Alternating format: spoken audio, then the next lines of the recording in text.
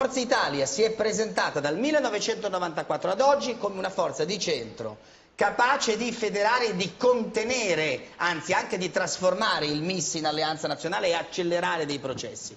Le chiedo oggi con la destra che c'è, cioè, come fa un liberale a salire sul palco con persone che indubbiamente hanno legittimamente delle posizioni radicalmente diverse, diverse dalle vostre. Cioè non è la Salvini non è il bossi del federalismo, Salvini Ma, oggi è un'altra cosa, è, dice secondo Parenzo. me è un'altra cosa. E nel frattempo Berlusconi è marginale. Ma ho subito Vero una battuta per Parenzo, Prego. ma ve lo ricordate Tu Bossi? Scusate, ma Bossi era quello dei fucili per rosso eccezione, ma confronto Salvini un Doroteo, ma di cosa state Beh, parlando? Salvini, scusate, Doroteo- scusate, scusate, eh, ti ho ascoltato, adesso ascolti me.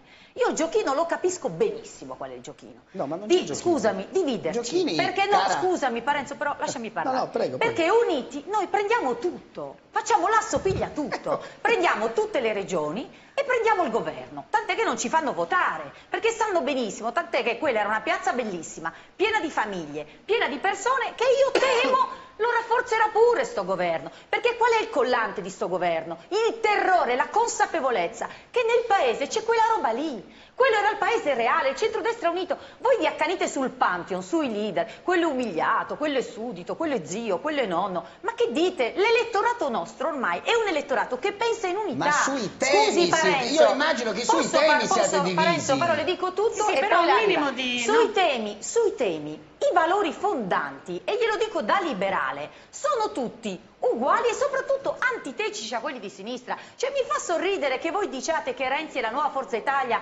quando Renzi sostiene un governo col PD e l'EU. Ma di cosa state parlando? Le cose si vedono coi fatti. Andare oggi con Renzi significa andare con il governo più a sinistra della storia. Noi stiamo in un'area di centrodestra e mi perdoni Buccini, non sono d'accordo su quel che ha detto perché la legge elettorale verrà rifatta e ricordiamoci che c'è un referendum pendente sul maggioritario. Allora, se dovesse arrivare il maggioritario come io credo più probabilmente un proporzionale con premio di maggioranza, perché Zingaretti dovrà mettere nell'angolo Renzi, non gli potrà consentire di fare il partitello di centro questo che poi fa l'ago della bilancia, scusate, col 5 o col 10%, quanto farà? Io gli auguro di fare anche bene. Io, non- io gli avversari in bocca al lupo, la Leopolda la rispetto, 60 tavoli, li rispetto, le persone che erano lì. Però pretendo Quindi che la Renzi mia non è un concorrente Scu- per Però lei. scusi, pretendo che venga concorrente.